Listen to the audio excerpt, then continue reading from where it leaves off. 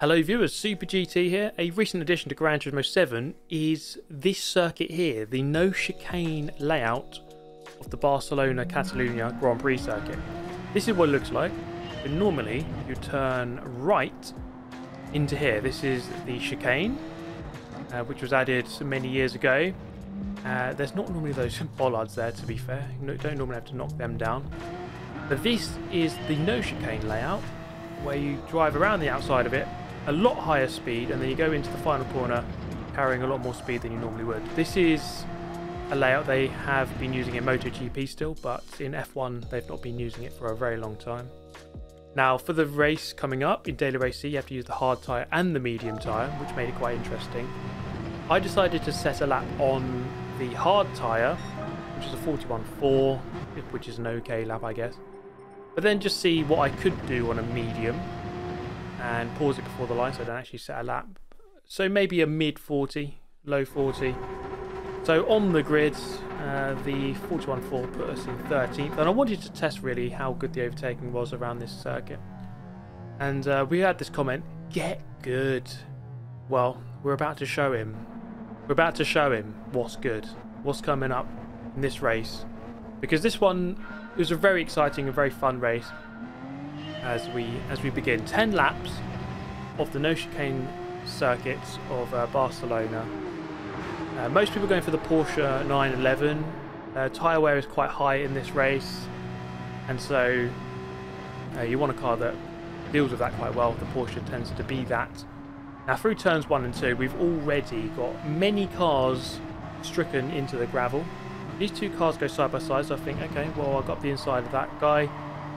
He has a five second penalty. Let's try do a nice little mid-corner switcheroo. Look at that. That might be the new switcheroo. Then we're eventually going to go up the inside into turn four. Uh, so that's quite a good start. Started 13th, up into P9 already. Four positions gained, and we've only done four corners. That's not too bad. Just trying to keep it nice and pinned on the inside so we don't get old switcherooed. This is a replay of what happened. This is the guy who got the five second penalty, and it was for this contact here. And yeah, just uh, it's all a bit silly really, isn't it? This is what caused all of it. And uh, this guy seemingly forgetting where his brake pedal is, eventually finding it. But uh, it was too late by that point. Uh, yeah, so not ideal. Now, back on board, coming out of turn number five. Uh, this guy's day was about to get even worse. So he's already got himself a 5 second penalty, He lost a few positions, and then boom! A perpendicular meeting with uh, Barrier, the Spanish Barrier. And uh, yeah, his day went from about an 8 down to a 0 very quickly. Now, we are P9, lap 1 of 10. On the hard tyre, starting the race on the harder of the two compounds that we'll go over onto the medium later on and uh, it's one of those where I'm kind of working out as we go along because I don't actually know the strategy at this point. Um, so we'll see how it goes. Through the fast sweeping sector now, this is the no chicane part of the circuit and it's actually quite tricky to follow another car through there. The visibility isn't the best and of course it is a very fast sweeping sector. Down the main straight, are we going to be able to get past the Czech driver here? We're going to pull out to the inside, taking as much slipstream as possible looking for our breaker point, which is the black marker board just before the 100 board on the left, heading into the apex nicely, and we get the position up into 8th. Our next victim being this uh, Swiss driver. See how many um, corners it takes to try to get past him. Now, Catalunya isn't always the best track for overtaking, certainly in Formula 1. Lots of high speed or medium speed uh, corners, which makes it quite tricky to overtake. It makes it very tricky to follow another car, and that's one of the reasons why they even made the chicane in the first place, because Formula 1 cars just could not follow each other closely through that final sector, with the very fast final two right-handers on this circuit. So that's why they made the chicane. Um, but of course in sort of the GT3 car which we're driving here should be a little bit easier. There is still quite a fair amount of aero on these cars. The, the Swiss driver's going to drive a little bit wide there through turn 9. He's not going to get the best of exits onto this mid-straight. And he's kind of gone over to the right-hand side quite early. That's going to be quite an easy move up the inside. And uh, there's going to be P7. They're doing a good job so far, getting the positions when we need to. Have a bit of a gap to the cars in front, although that gap came down slightly as the guy in front called Tears of E-Girls made a bit of a mistake. He had a penalty, I think. Through the final two corners, lap number three. He's got a little bit darker at this point, and oh, his race is about to get a bit darker as he makes a bit of a mistake on the final corner, loses crucial momentum, and we're up into P6. Beautiful stuff. We're in our natural habitat, but I'm sure we can move further forward. As you can see, the two cars in front making contact as they head in towards turn number one. Now we're going to be looking at that and trying to catch up the best we can. We're only 4.9, 4.8 seconds off the lead, 4.4 by the end of that lap. As um, Cheesy goes into the pit lane and he changes tyres. What's he going to go from? He's on the hard, he's going to go onto the medium after four laps. At the end of lap five, the car in front went in as well. I was going to do one more. I really wasn't quite sure on the strategy at this point. Uh, but at the end of lap 6, I follow these other two guys in. They happen to both be on the medium tyre. So it seems as though the medium can do 5 or 6 laps, whereas I'm only going to do 4 on it, but I suppose you have to learn some somehow. So the Porsche boys there doing a fantastic job as ever. And we change over onto the medium. Let's see what position we're going to come out in, making sure we don't cross the pit exit line on the left there. There's P6. We're back to P6 but we are now on the strongest tyre to the end of the race. We've only got four laps to do, but we can push quite hard here and try to gain as many positions as possible. Uh, just four seconds away from the lead, so we're actually not doing too bad of a job. In fact, the leader was just in sight there. Now, these two guys are going to go hammer and tong. Bit of argy-bargy. Brit goes through against the South African, who clearly didn't take too kindly to that move, as it was somewhat forceful. And he comes back in and returns the favour, so I'm going to gain a position for free there. And it's this sort of conflict that you really do need to avoid, and he goes very slow here, so we're going to go past him. Two positions for free, thank you very much. We'll take it. So the guy who's telling us to get good is our next victim right in front. And uh, it does feel quite funny when you, you, you come from quite far back in the pack and you manage to catch up. But we'll see how easy it's going to be to overtake not quite close enough here into the hairpin, so we're going to have to bide our time for now. Then through this final sector, not easy to overtake you through here really, unless the driver in front makes a mistake. So all we can do is really just keep the pressure on and see if he does. At the moment though, not quite doing that, and not quite able to carry the speed, and this is the difficulty I was having, uh, which is just to stay close to the car in front through those final two corners and therefore I could not quite get a good run onto the main straight, which is probably the best overtaking opportunity on the lap, the longest straight to the biggest braking point. Normally is always the best place to overtake on any track.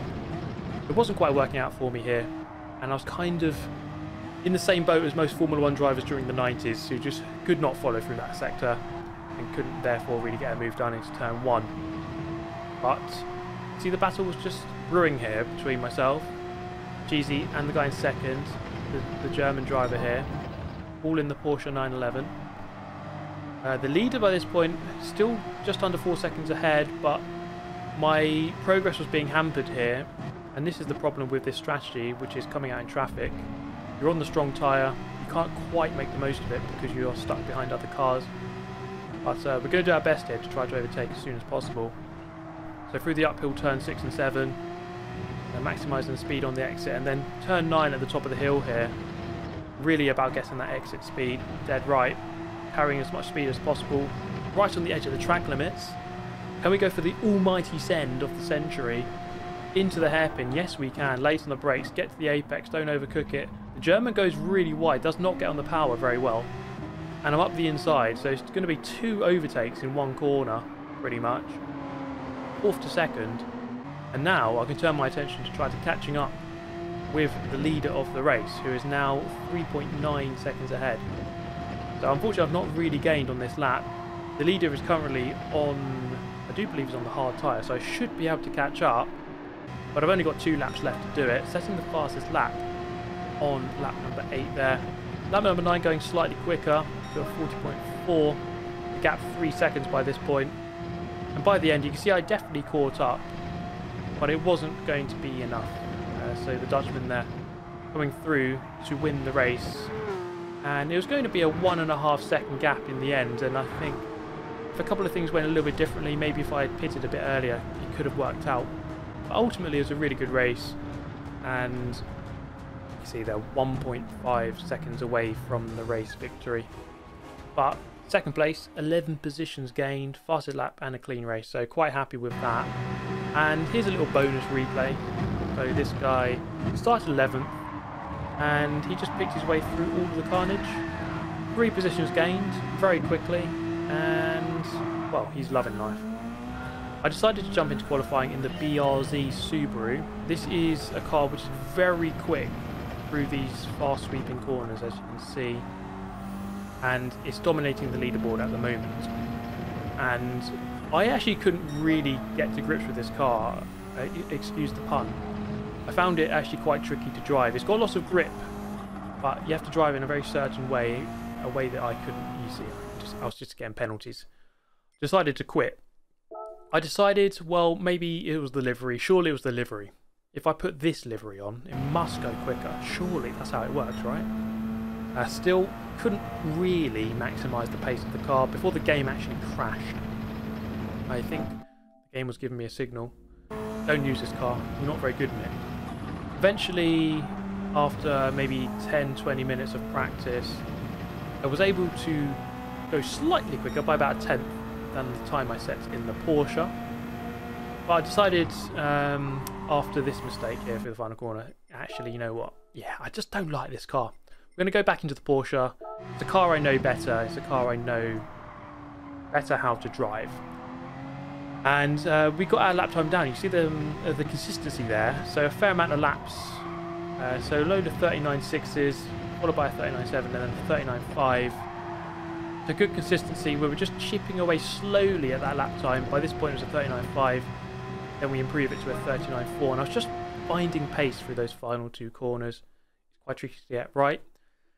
Join the next race, error message, AF 16400. One of my favourite error messages, uh, to be honest, but it's quite annoying because I wanted to race. It did give me time just to try to improve my lap time though, to be fair. And we did exactly that, setting at 39, and actually no, we didn't. That's exactly the same time as our best. Bit annoying. Then we go a little bit quicker there, 39.434 and I was kind of content with that. I could have, I reckon I could get a low 39 if I pushed that a little bit more. But let's start this race, right? Because this one was quite uh, a simple race in many regards. I'll, I'll show you what happened. Because this Porsche crashed. And then it was really a race of myself against the Subaru BRZ. And the BRZ, as I mentioned just a moment ago, really quick in the corners, especially the fast sweeping corners. And you see here the difference as uh, he's just able to carry much more speed. I do lose a bit of speed hitting the cone to be fair, but that car was just so fast through this final corner, I just could not keep up. And there was no chance of me going for a move into turn one. And that was basically the story of the race. I could keep up, but I could just never quite be close enough where it really mattered. So you see that the gap the car opens up in that final turn is just absolutely ridiculous. Nothing I could do. Ultimately finishing P3 and uh, just five seconds off the race win. But then I jumped into this one and I felt like there was a chance if I did something a little bit different. Every race I've done so far started on the hard, then swapped to the medium. But this one, well, I got called dad, so it, it, seems I've got more children out there that I don't know about. I felt like if I started on the medium, went aggressive at the beginning, and then tried to hold track position, then perhaps I could win the race that way instead. Because as I said, every race I've done so far started on the hard, then gone on to the medium, and when you do that, you're always chasing the race. You're always having to overtake people late on. Whereas this one, we're going to try and get the work done early, and then try to conserve our lead, if we can do that. So I'm assuming here that Matthew is on the hard tyre. I'm not sure. Normally, if you're in the lead, you should go onto the softest available, but I'm keeping up quite easily here, so I'd say that he must be on the hard tyre. And looking for a move here, not really close enough to go for it. Um, you see here the traction you get with a softer tyre. I was able to get a much better exit down the hill into turn 6. Up the inside we go. There is a bit of contact, and I was wondering if that was a clean move. Uh, but I did check the replay, and I felt like it. I felt like it was. I just went a little bit deep, and he kind of turned in a bit early, I would say. But I think it's all good. So now into the lead. It's really a case of maximising the tyre potential. Uh, let's just push on the medium tyre. He's on the hard. We can just try pull away now for five or six laps. I think the golden ratio is to do six laps on the medium and then four on the hard. And a lot of viewers ask, why is it that you do more laps on the softer tyre? It's really just because the softer tyre is faster and it doesn't actually wear out that much. So even on a, even a worn out medium is still faster than a new hard tyre. As such is the pace difference. So normally you don't want to spend too long on the hardest tyre. That's normally what it is. At the end of lap one, just putting away there, we got a one second gap already, which is quite good. End of lap two, got a two second gap. And in fact, it was the guy in third who was also in the Porsche, also on the mediums, who was actually very quick, and he was actually giving me a very good race. He was two seconds behind. We got some nice consistent laps, as you can see. Three laps there within a 10, but not too bad. Um, but this guy in second, he kind of mimicked my strategy. Um, and therefore it was quite a close race between the two of us. By this point here, this was lap 5. So he was getting quite close. He was within what within two seconds, about 1.7 behind. Uh, so he was doing a good job of keeping me in check, and he wasn't going to let me have an easy race here. But then, well, he was actually because he made this mistake. Very easy to do that. It looks so innocuous, but it's actually quite an easy mistake to make, and I was doing it quite a lot in practice. But that opened up the gap. Now about 3.8, 3.9 seconds gave me a bit of breathing room. So end of lap five, a decent gap, decent margin. End of lap six, into the pit lane. And uh, that is our medium stint done. The tyres really screaming, um, really not doing very well by that point in the race.